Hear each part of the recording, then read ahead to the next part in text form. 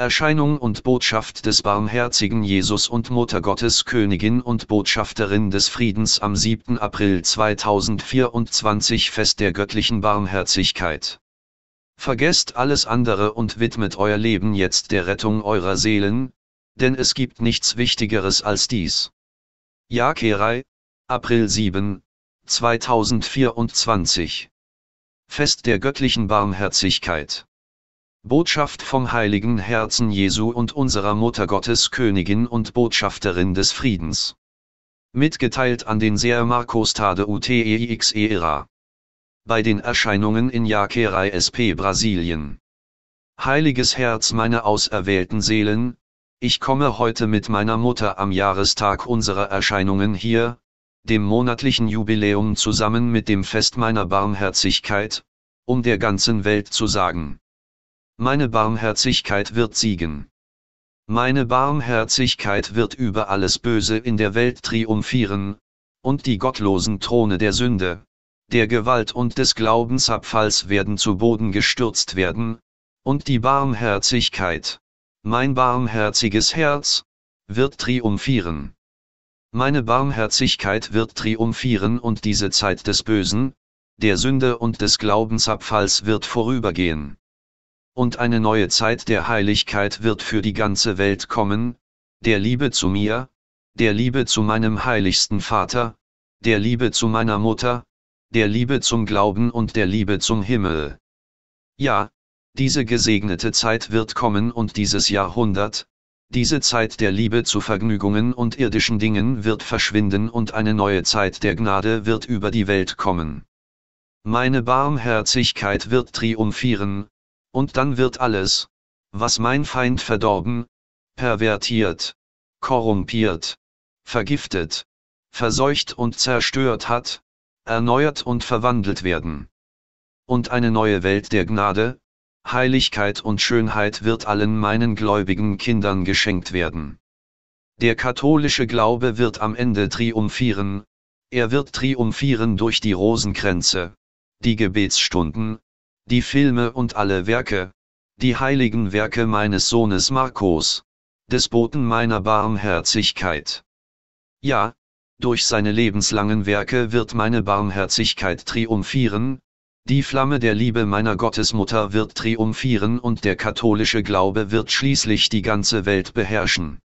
Abtrünnigkeit, Atheismus und alle anderen Ideologien, die meinem heiligsten Herzen zuwiderlaufen, werden von meinem Fuß zertreten werden, vom Fuß meiner Mutter durch die Hände und Füßchen meines Sohnes Markus.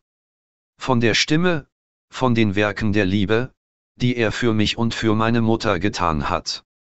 Auf diese Weise werde ich der ganzen Welt meinen größten Sieg verkünden, ich werde meine ganze Macht und die Macht meiner Mutter zeigen, und ich werde zeigen, dass dieses Wunder, das geschehen wird, ganz mein Werk und das meiner Mutter sein wird.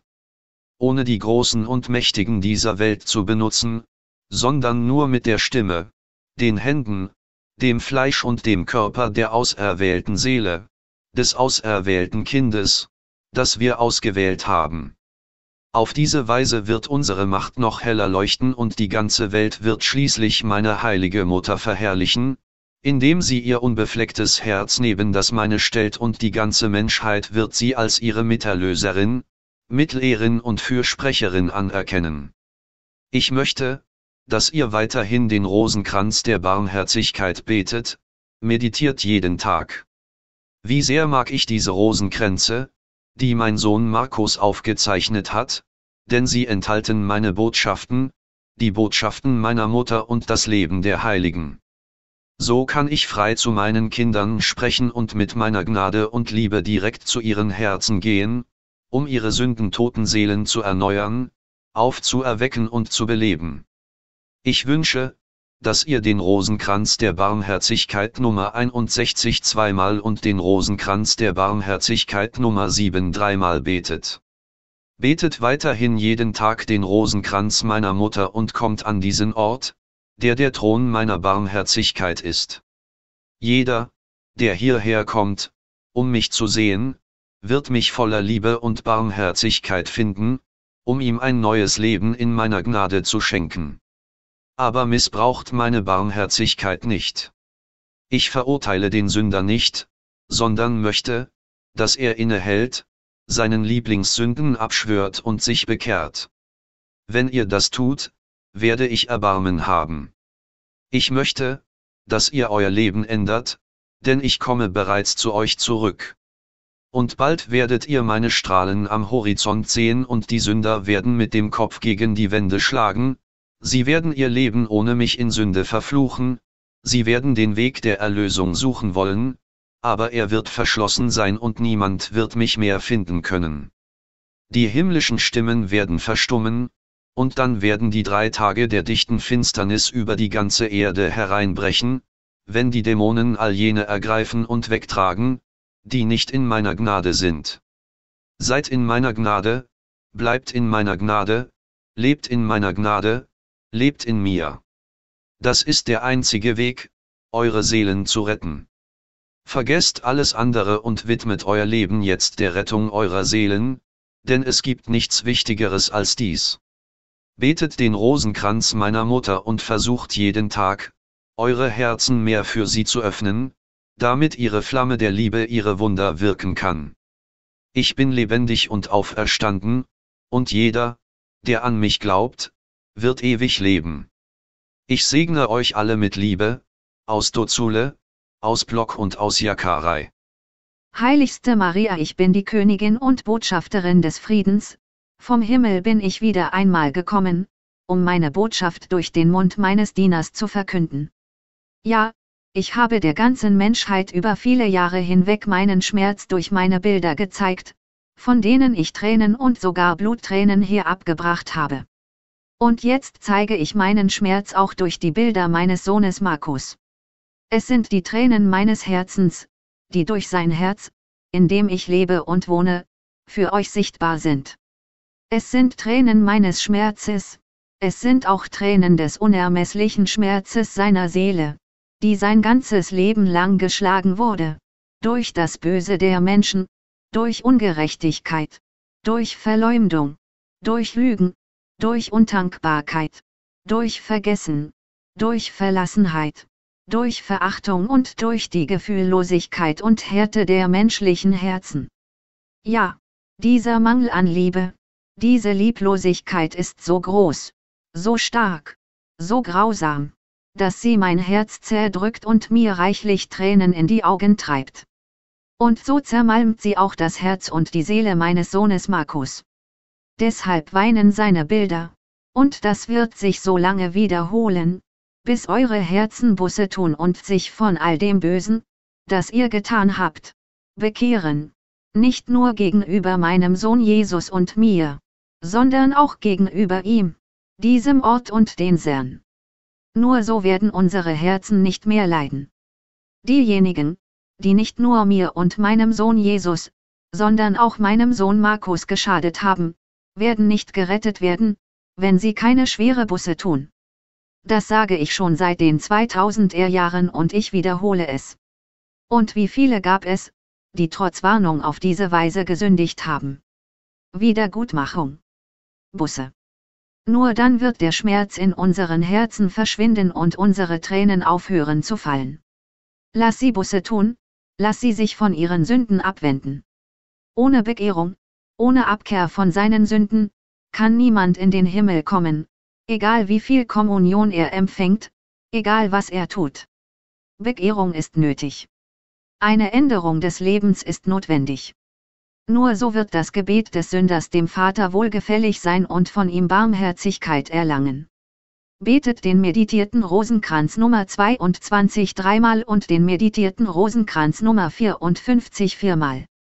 Gebt auch den Film Stimmen des Himmels Nummer 1 an vier meiner Kinder, die ihn nicht haben, damit sie die Botschaften kennenlernen, die mein Sohn Jesus meiner Tochter Faustina gegeben hat und die von der Menschheit mit Füßen getreten und verachtet wurden. Wie viele meiner Kinder leben und sterben in völliger Unwissenheit über unsere Botschaften und fallen deshalb wie Hagel in die Hölle. Ja, es gibt so viele Seelen, dass, wenn es Hagel wäre, er das Licht des Tages ausschließen würde. Wie die Unwissenheit Seelen in die Hölle bringt. Helft mir, diese meine unwissenden Kinder zu retten, indem ihr ihnen die Filme meines Sohnes Markus gebt, damit sie meine Botschaften und das Leben der Heiligen kennen. Auf diese Weise kann ich diese Kinder vor einem ewigen, traurigen und unglücklichen Schicksal in der Hölle bewahren, indem ich sie mit mir in den Himmel nehme und ihnen ein ewiges Schicksal voller Glück, Herrlichkeit und endloser Freude im Paradies garantiere.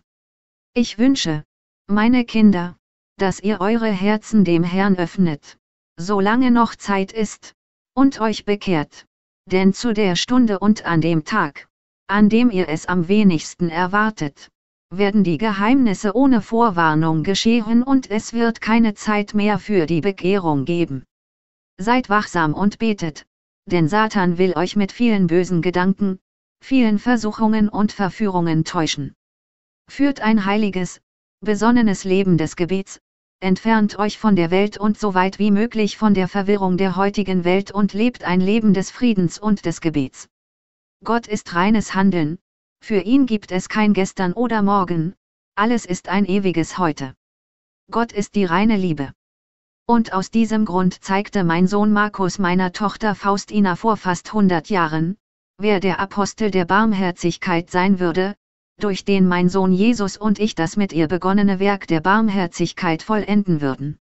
Ja, das Werk der Barmherzigkeit wird hier vollendet werden und bald wird mein Sohn das Werk der Gerechtigkeit beginnen, indem er die Geheimnisse vollstreckt und eine Strafe nach der anderen aussendet. Es wird schrecklich sein, schlimmer als von mehr als hundert Spießen, Schwertern aus Feuer, durchbohrt zu werden. Wehe den Sündern, die Gott verspottet haben und meine Botschaften und Tränen verhöhnt haben. Die Dämonen, die sie verhöhnen, werden sie packen und ins Feuer zerren, aus dem sie nicht mehr herauskommen können. Ja, das werdet ihr sehen, meine Kinder, damit ihr sehen könnt, wovon ich euch mit meinen Erscheinungen befreit habe, die Qualen, von denen ihr durch das Jahr und die lebenslange Liebe, die heiligen Werke, die Opfer, die Schmerzen und die Tränen meines Sohnes Markus befreit worden seid. Dann werdet ihr den Herrn verherrlichen und meine mütterliche Liebe preisen, die in ihrer Barmherzigkeit mächtig für die Rettung von euch allen gewirkt hat. Betet weiterhin jeden Tag den Rosenkranz der Tränen. Bete meinen Rosenkranz. Und was dich betrifft, mein kleiner Sohn Markus, so freue dich, denn heute Morgen gingen ich, mein Sohn Jesus und meine Tochter Faustina noch einmal hinunter in den Marieladen und ich zeigte ihnen den Film Stimmen des Himmels Nummer 1 und all die mehr als 100 meditierten Rosenkränze der Barmherzigkeit, die du aufgenommen hast. Meine Tochter Faustina war gerührt und vergoss Freudentränen. Mein Sohn Jesus freute sich und sagte wahrhaftig, Nein, es gibt niemanden, der meine göttliche Barmherzigkeit, mein Bild und die Botschaften, die ich meiner Dienerin Faustina gab, mehr liebt als mein Sohn Markus. Wahrlich, er ist der Apostel, der Ritter meiner Barmherzigkeit. Durch ihn wird meine Barmherzigkeit triumphieren und hier in diesem Heiligtum, das der Thron meiner Barmherzigkeit ist, werde ich schließlich die größten Wunder meines heiligsten Herzens vollbringen und den größten Triumph meiner Barmherzigkeit auf der ganzen Erde feiern. Wir segnen dich in diesem Moment, also freu dich, mein Kind, denn wenn die Welt unsere Herzen mit dem Schwert des Schmerzes durchbohrt. Dort im Mary Alstor, beim Anblick deiner Werke der Liebe, den unbestreitbaren Beweisen deines Gehorsams, deines Glaubens und deiner Liebe zu mir und zu meinem Sohn Jesus, werden unsere Herzen getröstet und freuen sich an dir. Ich segne dich jetzt liebevoll und alle meine Kinder, aus Lourdes, aus Pontmain, aus Jasnagora, Tschenstochau und aus Jakarei.